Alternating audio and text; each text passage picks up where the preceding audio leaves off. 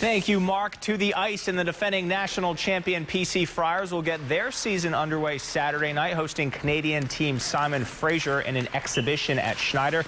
The Friars are ranked seventh in the preseason poll and are hoping to get up to game speed before opening the regular season on the road next weekend at number 11, Miami of Ohio.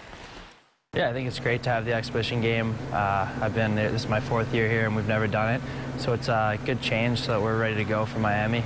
It also gets guys comfortable in the lineup and uh, gets them, the new guys some experience. I'm excited about the hunger of the team. They've shown great work ethic in the preseason and most of all, they've shown that last year's behind us, and it's uh, we're moving forward. It's everything. We're pursuing the next national championship. Finally.